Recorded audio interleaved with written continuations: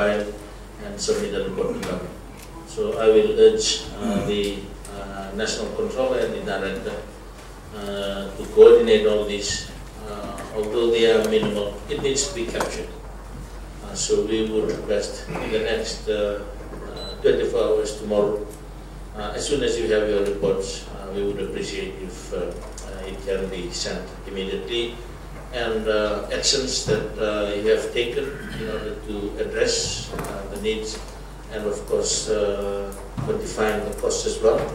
Um, so that we can uh, have a record of all this. Uh, that's the first issue that I wish to raise. Secondly, as usual in all previous disasters, starting from 2009, after every um, uh, disaster, we, we always have what we call the post-disaster uh, debriefs. Uh, we need to capture the key lessons learned. Uh, while we have been spared, there are still weaknesses in systems and processes, and of course, uh, uh, the assistant minister has talked about policy issues and structural issues. These are the things that we need to take on. Because previously, we have very good reports, but it's just filed away and we wait for the next one. That is why we have always been reactive.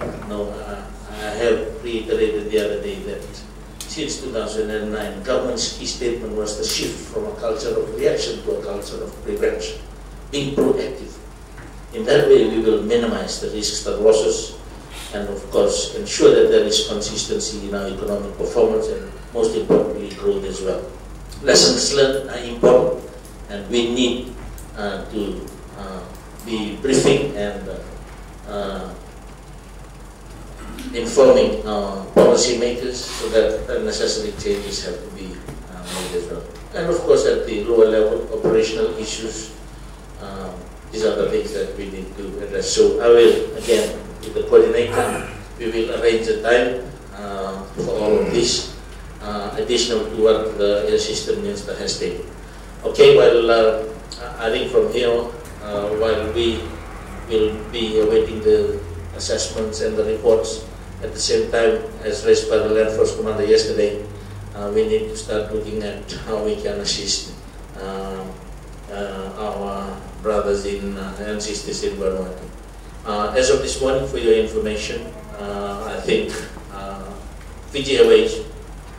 uh, is waiting for clearance from Vanuatu to uh, send a flight across uh, to probably uh, extract our people who uh, need to be brought to Fiji.